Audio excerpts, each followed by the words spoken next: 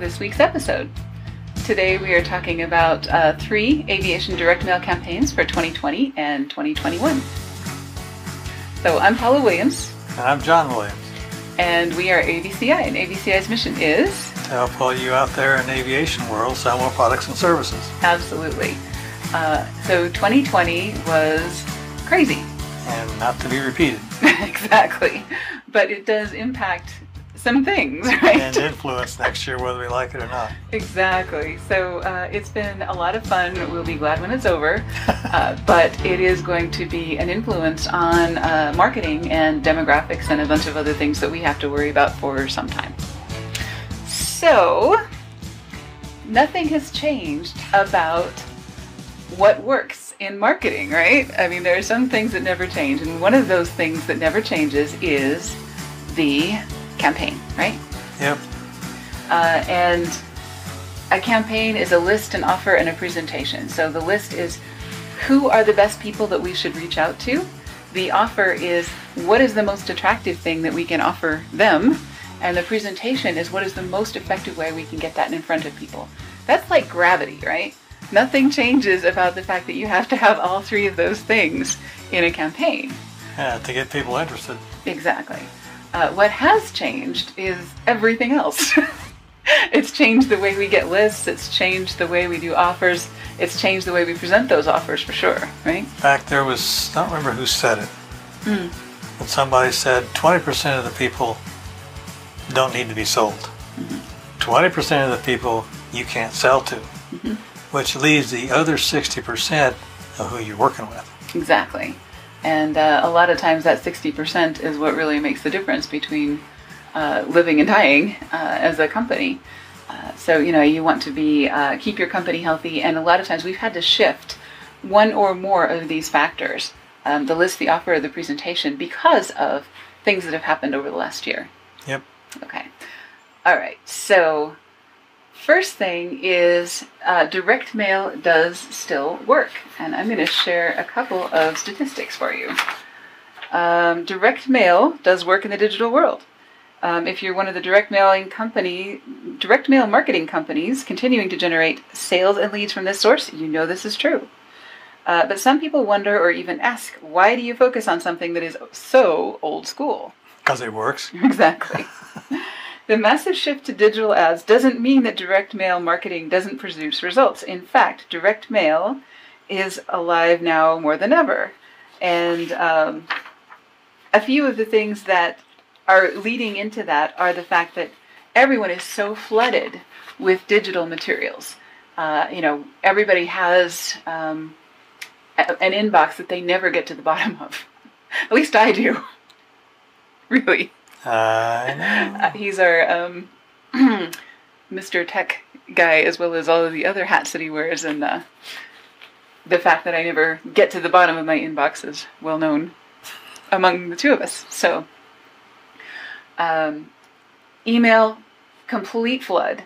Uh, digital marketing, that's a little bit better because you can pay money to target your ads to people, and you know you can uh, be very specific about the people you want those to go to. But still, they are seeing so many ads. Uh, the average person sees more ads now than they did even five years ago, even with all that targeting going on. So it's kind of crazy. Um, all right, so the first thing you want to think about is what do I want to accomplish with my marketing, and uh, you know what can mail do for me? Mm-hmm. What what have you done for me lately? right. Okay, so here's a way to combine the two. You know, obviously we love using all of this fantastic technology and all of this fantastic data that we now have access to that we didn't three years ago, even, right? True. And we get it for free. Um, actually, in some cases, we may be paying for retargeting um, cookie or something like that. We may be paying for forms on our website that deliver us leads. Uh, we may be. Um, but the um, data itself is what you're saying is free. Exactly. Um, we're using in our group, um, our clients use Leadfeeder, which provides information about people that have visited your website and things like that. So uh, there's lots of ways to collect information about people's online activity and then to retarget that with a postcard or a some kind of direct mail. And what that does is it just kind of like leaps off the page, right? Or leaps off the screen into the real world. Uh, people feel differently about something that they can feel in their hands, something that's tangible. Um, a lot of the aviation decision makers are um, 45 plus, college educated, um, male, military background, and so forth. Nothing is real to these kind of people until it's on paper, right? I mean, at least it becomes more real when it's on paper. Right. Yeah. It's a psychological thing, you know, but it is absolutely valid. Something you have to deal with. Right. Exactly. So you can argue about this all day long if you're a millennial or or um, Gen Xer or anything else. That things online are just as real as things that are printed. We don't disagree with that. We- However, Exactly. So however, right. So, a way to do this is to take those lists of data, and a lot of people get these lists and don't do anything with them. You know, so they get tons and tons and tons of leads, and then they never follow up on them. The easiest thing in the world is just to slap a um, or have some piece of software that creates a mailing label when someone uh, when someone does a certain series of actions online. Um, the simplest form of this is someone fills out a form on your website and requests an information package, and then you put something together and send it to them uh, in the mail, not online, not to their email, right? right. Okay. This does two things. Number one, you get to request their physical address, and they're more likely to give that to you if they are a legitimate entity. And number two, it gives you the opportunity to really showcase your work in a way that your competitors are not doing because they're just sending them an email, and you're sending them a box or a envelope or something, you know, that has uh, more information in it that uh, that makes sense. So you fill out a form on one of ABCI's websites, depending on the form that you fill out, and depending on how qualified you are, uh, based on our software and other things, you may get a blue folder like this one in the mail. And some of you probably have gotten these before, that has a catalog and some uh, customer success stories and some checklists and other things that are really useful. And some In there. specific data for the individual. Exactly. And it's custom to you and has a handwritten note on it and you know so that's a lot more effective than just sending an email and that's why we take the time to do that, right? Exactly. Yeah. Okay. Um, if you're using, if you're one of our team members, you'll you'll recognize this very very well. This is our Leadfeeder results. So I can see that someone from Boeing has visited ABCI's website um, three times over the last 30 days and has left a pretty detailed uh, set of breadcrumbs. Now, I can't necessarily tell which individual at Boeing did this because uh, Boeing's a big company. But if I'd been talking with Boeing or if I have uh, people in my LinkedIn that I'm connected with on Boeing or from Boeing, then of course I'm going to send them blue folders, right? Uh, because I can see that there are some specific things that they are interested in, and I can probably guess who those people are. Oh yeah, it doesn't take a whole lot to figure if it's a sales guy or an engineer. Exactly. So that's really, really helpful, and uh, that's how we do um, retargeting online activity: either a form, or some kind of software, or some kind of targeting re- cookie, tar- retargeting cookie, retargeting cookie, um, or something along those lines. Mhm. Okay, cool. So that's campaign number one. Campaign number two is uh, to send an information package before or after a consultation. Um, so a lot of times we will schedule a consultation with someone, and it happens so fast that we can't get them mail uh, prior. Uh, but we do send something after the fact. That's here's a nice follow up. Maybe here's um, a transcript of our conversation. Here are um, you know some other information that we didn't get to because of time, but that you had asked about, and I told you I would follow up with you. Um, following up by mail is um, more effective than following up by email. Uh, once again, because those emails can get lost more easily, and because there's a tangible um, impact of mail that uh, just kind of adds to the credibility of your consultation. Plus, with with real real snail mail, Mhm. postal mail, Yeah.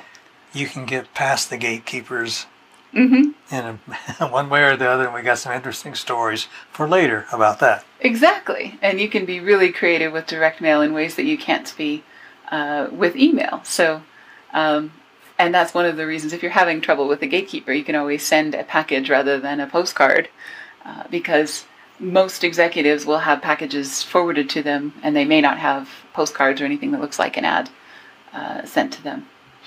Okay, so that's campaign number two follow up after, before or after a consultation.